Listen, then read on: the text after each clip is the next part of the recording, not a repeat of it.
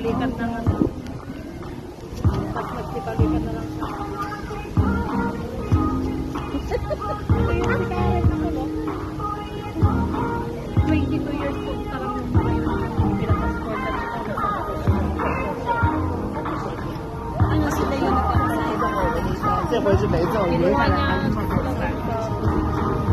Pero nung nung one releasing ng passport nila no, si mama ang nag-release. Siyempre para mag-apply sila kay bilang mga na Pero kawawa naman sila pag sa iba sila ng ano, iba sa cool accommodation di ba? Ayaw. Wala na ba?